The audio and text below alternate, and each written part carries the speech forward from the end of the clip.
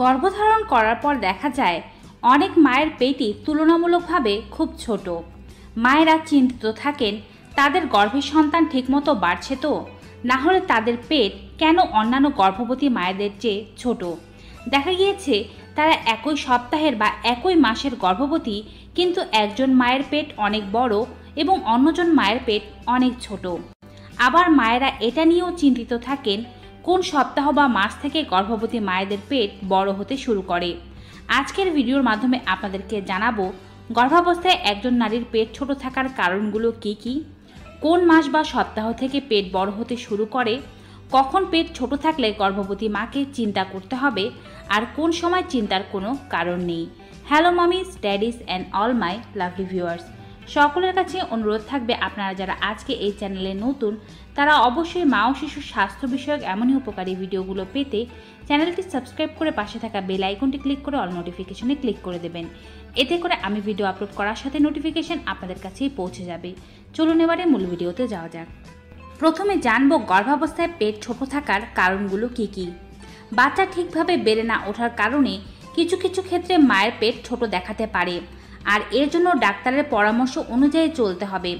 একটা কথা মনে রাখতে হবে, এসব ক্ষেত্রে ডাক্তারের কথা শুনে চলাই উচিত। ঘরের মানুষ বা বন্ধুবান্ধব কী বলছে তা মেনে চললে কিন্তু হবে না। এছাড়াও অনেকে বলে থাকেন, অতিরিক্ত খাবার খেলে নাকি পেটের বাচ্চা ছোট হয়ে যায়, বাচ্চা বড় হওয়ার জায়গা পায় না। এটি সম্পূর্ণ ভুল একটি কথা। একজন মাকে অবশ্যই তার এবং নিজের শিশুর জন্য পর্যাপ্ত পরিমাণ খাবার খেতে হবে। যদিও প্রত্যেক মায়ের ক্ষেত্রে তার পেট কেন ছোট দেখায় সেটা বলা সম্ভব নয়। তবে কিছু কিছু কারণে সব ঠিক থাকার পরেও কারও কারও পেটের আকার ছোট বা বড় থাকতে পারে। প্রথমবার গর্ভবতী মায়েদের ক্ষেত্রে পেটের পেশিগুলো শক্ত এবং মজবুত থাকে। এই কারণে পেট খুব বেশি একটা সামনের দিকে বাড়ে না। পেটের পেশিগুলো জরায়ুকে ধরে রাখে, জরায়ু উপরের দিকে বাড়তে থাকে, আর এই কারণে পেট তেমন একটা বোঝা যায় না।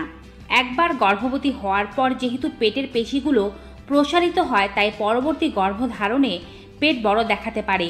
কিছু কিছু মায়েদের আবার দ্বিতীয় বা তৃতীয় গর্ভধারণেও পেট ছোট থাকতে পারে। যদি তারা মধ্যবর্তী সময় খুব ফিট থাকে এবং নিয়মিত পেটের পেশির ব্যায়ামগুলো করে থাকে। শিশুর অবস্থানের কারণেও পেট ছোট দেখাতে পারে। গর্ভের বাচ্চারা নিয়মিত অবস্থান পরিবর্তন করে, বিশেষ করে বত্রিশ থেকে চৌত্রিশ সপ্তাহ পর্যন্ত। এর উপর ভিত্তি করে মায়ের পেট ছোট দেখাতে পারে।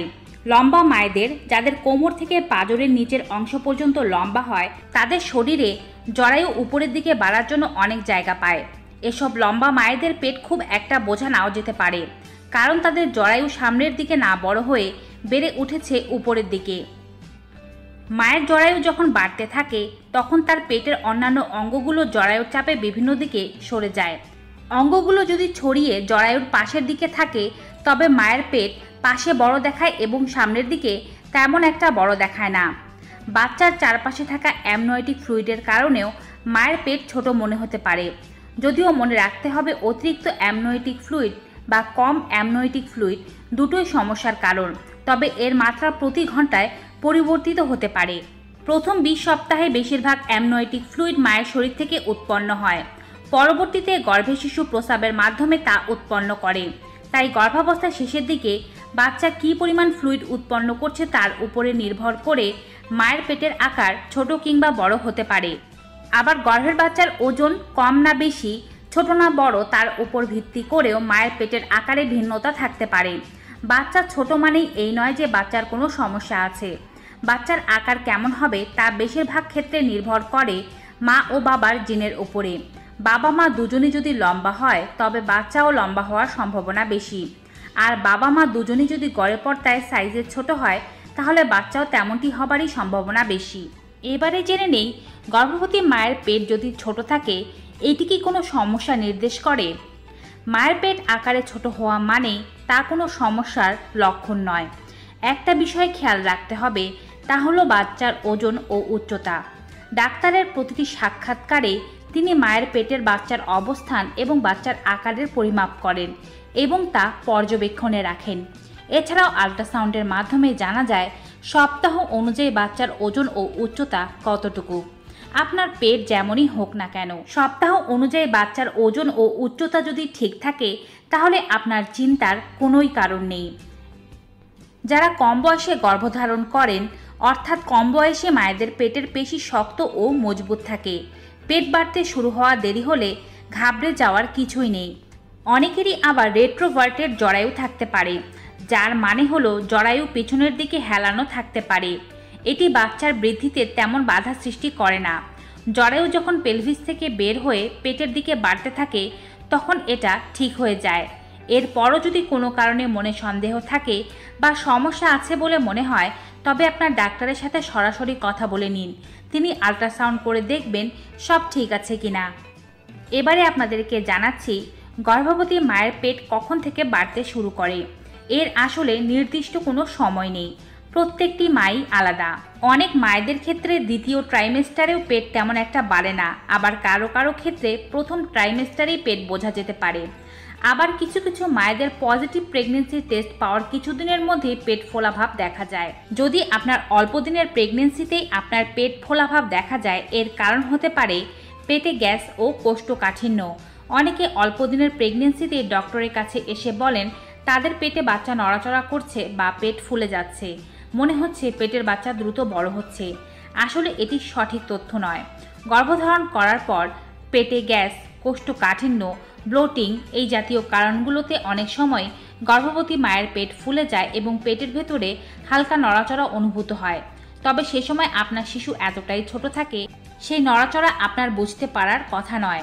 তবে গড়ে পর্তায় বলা যেতে পারে একজন গর্ভবতী মা প্রথম ট্রাইমেস্টার পার করার পর দ্বিতীয় ট্রাইমেস্টার অর্থাৎ পঞ্চম মাস থেকে মোটামুটিভাবে পেট বাড়তে শুরু করে। কিছু কিছু মায়েদের ক্ষেত্রে পঞ্চম মাসেও পেট তেমন নাও বাড়তে পারে। তবে সর্বশেষ পেট বাড়ে সপ্তম থেকে নবম মাসের মধ্যে। এর মধ্যে অধিকাংশ মায়ের পেট সবচেয়ে বেশি বৃদ্ধি পায় এবং শিশুও তখন খুব তাড়াতাড়ি বাড়তে থাকে। তবে যারা প্রথম প্রেগনেন্ট তাদের ক্ষেত্রেই পঞ্চম মাস থেকে পেট বাড়তে দেখা যেতে পারে।